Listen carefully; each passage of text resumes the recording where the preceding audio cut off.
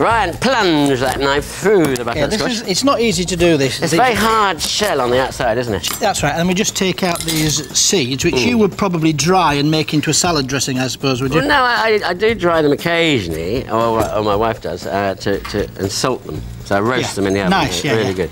It's very healthy for you. Absolutely right, very helpful. They But it's you- much better than a, oh, an octopus, uh, a pumpkin. I was gonna say, There's all these strandy things got me confused uh, because it's got much less uh, seeds in the middle, isn't it? That's right. But actually, it is good stuff. I never used to like it once upon a time. Look, I've diced the rest. I've diced another one up here. I'm just going to put some salt and pepper on there. So would you ever uh, ever do it without the skin on there, Brian?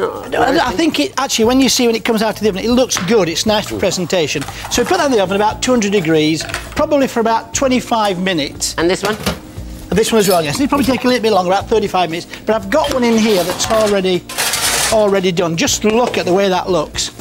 Lovely. Okay, just can you see that there? Ah, beautiful. But we're going to serve it the other way. up. I'll just turn it up. Okay, look, does that look good? That looks lovely. I love roast butternut with my Sunday roast. Okay, so what I'm going to do here quickly, I need to get the old uh, risotto on. Yeah. Uh, so I'm going to put some butter in here quickly. And when those pieces are nearly ready, I'm going to put some, um, Chickpeas? thank you, chickpeas and some cumin uh, uh, seeds on there, etc. as well. So chopped onion goes in there, rice in there. I'm going to build it up with stock. I've got some ready, so it's not too bad. Right. So I can show you how to finish it off whenever Excellent. you're ready, chef.